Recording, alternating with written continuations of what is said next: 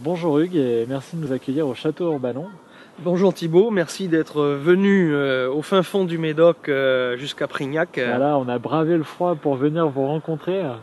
Et euh, je pense que ça vaut le détour parce que j'ai vu que vous aviez quelques super anecdotes à nous raconter. Alors déjà, si on commençait un petit peu par la propriété, par votre château, il y a combien d'hectares de vignes alors? Alors actuellement, moi j'exploite depuis 1997 à la suite de ma mère 12 euh, hectares 65 arts et 99 centiares. Ah, vous êtes précis. Hein. Euh, les formalités administratives nous, nous obligent à garder certains chiffres en mémoire.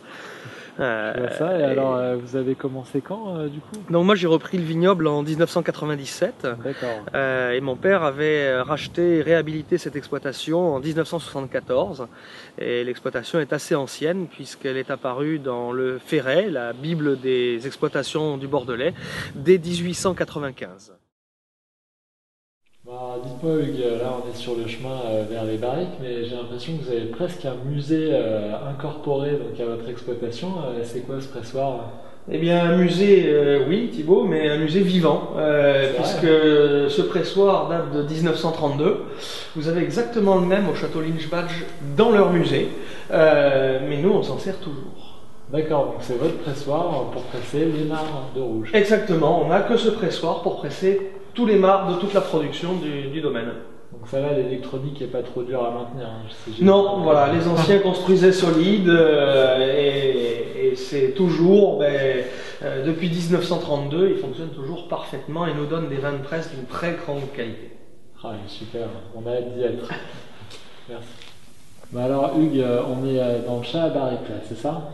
Exact, c'est là où on va descendre les vins après les vinifications euh, pour un élevage en barrique euh, d'une durée d'environ 18 mois avant de les préparer pour la mise en bouteille. D'accord, il y a quelques barriques neuves alors euh, tous les ans il faut renouveler, c'est ça? Voilà, tous les ans je renouvelle entre 20 et 25% de mes barriques de façon à compléter et complexifier les arômes du vin, mais surtout veiller à ne pas masquer le vin euh, et ne pas faire cette tisane de chêne, ça? Absolument, cette tisane de chêne euh, si chère à certains dégustateurs connus.